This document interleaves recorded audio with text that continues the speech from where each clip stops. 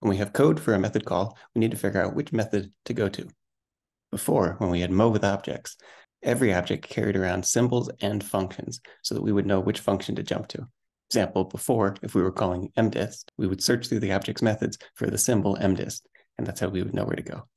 Now that we have classes, we can do things a little bit differently and a bit more simply. Instead of storing the method code inside the object, where every Posn3D object has a copy of the mdist method, we can instead store that in the class. So now every class will have copies of the methods, and then every object can point back up to that class. All we need to store in the object are the class tag and the field values. For a Posn3D, that means we need the symbol Posn3D and the fields here, one, two, three.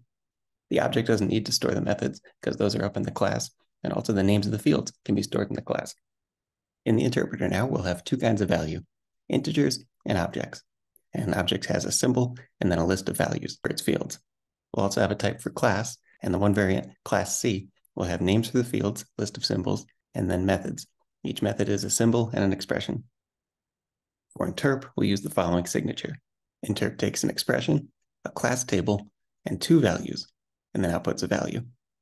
That second argument maps class names to class values.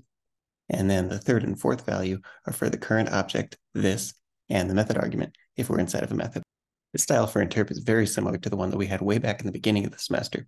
When we added function defs to Moe, we would interpret with an expression and then a list of function defs on the side. The list of classes is very similar to that. Here's an example of calling interp.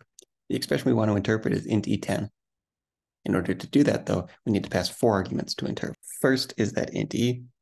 Second, we need a class table. Here it's empty, so there are no classes. Third, we need a value for the current object, this. We have a default here that says the object's name is just object and it has zero methods. Finally, we need a value representing the current method argument. We'll use the dummy value zero here. With those four pieces all together, we can check that interpreting an int expression really gives an int value. To interpret some more interesting examples, we need more code. Here's code that defines first a Posn class and then a Posn3D class. And these two are just like what we saw in the last video. A Posn has X and Y fields and two methods. Posn3D has X, Y, and Z fields and the same two methods. Finally, we have a wrapper around interp called interp Posn. This function takes in one expression, A. It interprets A using a class table that has our two Posn classes, then a dummy object for this, and a dummy value for the method argument.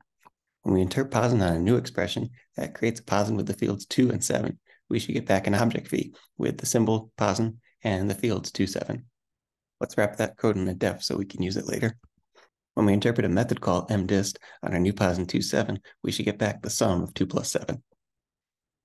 Here we've added a posn 3D to the bottom of the program. That's new posn 531. And when we interpret method call to the new posn 531, calling the addDist method and sending as argument new posn 27, we should get back the sum of all those numbers.